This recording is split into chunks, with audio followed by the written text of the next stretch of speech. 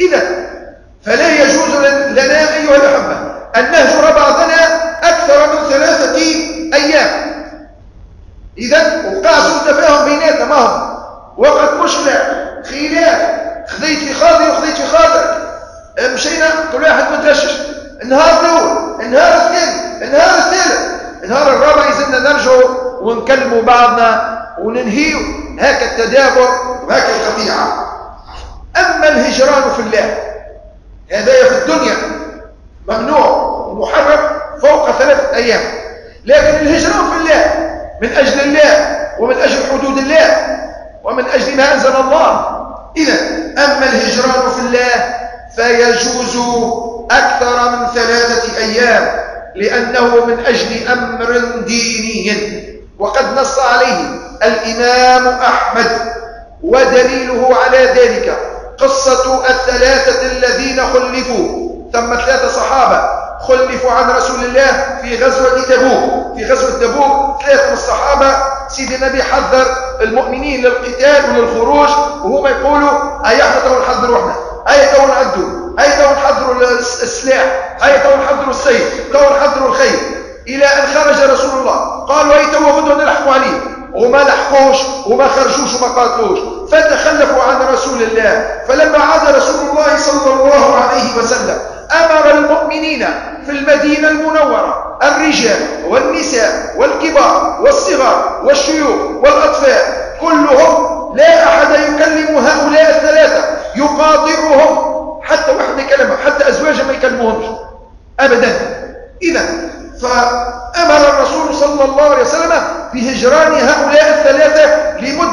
خمسين يوما. تصور أنت في مدينة خمسين يوم ولا بشر يكلمك. لين هالثلاثة هذوما اتخنقوا بهيك العزلة هذيك.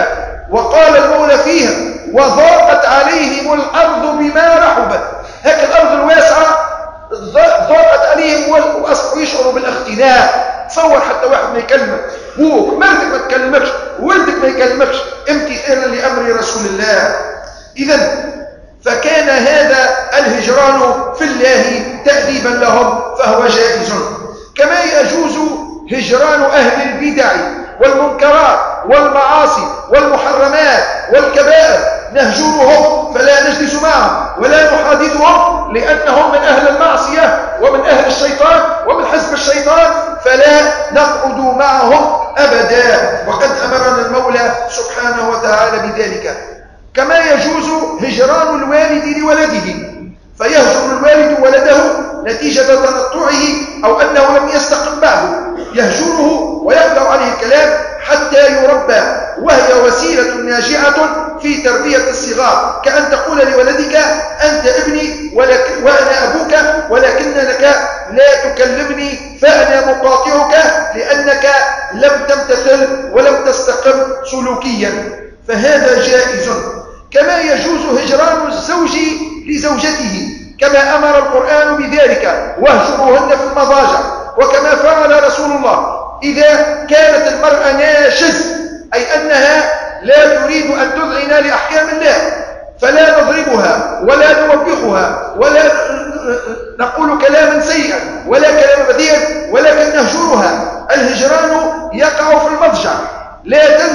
فراشك فإنك إن نزلت صعد الشيطان مكانك وأحدث في عقلها أشياء كثيرة تبيت معها في الفراش ولكنك تهجرها بحيث لا تنظر إليها وتعطيها بظهرك فهذا هو الهجران. وقد هجر النبي محمد صلى الله عليه وسلم سيد الخلق هجر أزواجه كلهن شهرا كاملا في حادثة التخيير عندما خيرهن المولى بين زينة الدنيا وبين الآخرة.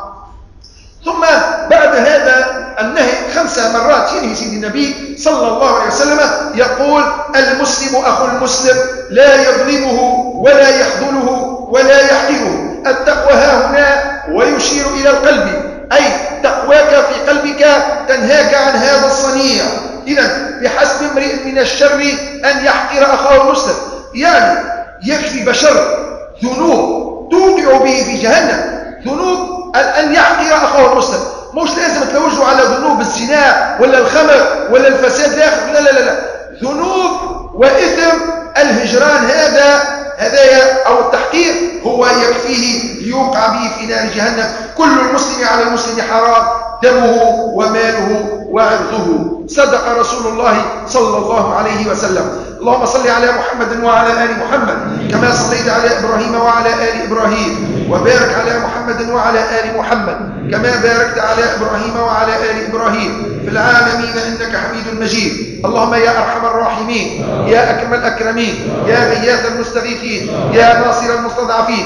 اللهم إنا نسألك في ليلتنا هذا وفي شهرنا هذا وفي جمعنا هذا نسألك أن تجعل جمعنا هذا جمعا مرحوما وانتشارنا من بعد انتشارا طيبا ساميا مباركا معصوما.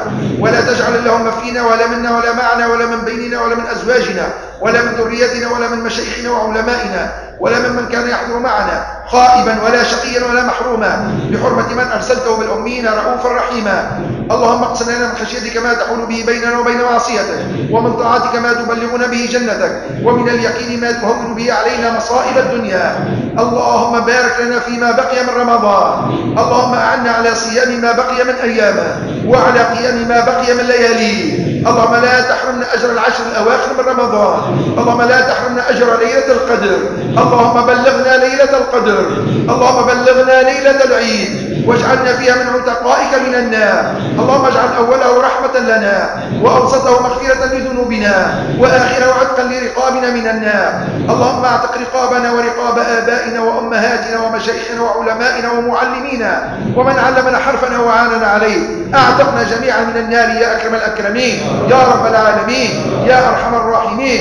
اللهم انصر من نصر الدين واخذل من خذل المسلمين. يا قوي يا متين. اللهم إنا نسألك النصر والتمكين. لإخواننا المجاهدين لإخواننا المستضعفين في كل مكان تعبد فيه يا رب العالمين. اللهم لا ينقضي رمضان يا رب العالمين. إلا وقد أيدت ونصرت أخواننا المستضعفين المغلوبين في أوطانهم يا رب العالمين. في ليبيا واليمن وسوريا والعراق وفي فلسطين وفي كل مكان تعبد فيه يا رب العالمين. أيدهم يا رب العالمين. سدد ربهم يا رب العالمين. أهلك أعداءهم يا أكرم الأكرمين أهلك الطغاة والجبابرة يا رب العالمين. اهزم أعداءهم يا أكرم الأكرمين يا أرحم الراحمين يا رب العالمين. وآخر دعوانا أن الحمد لله رب العالمين.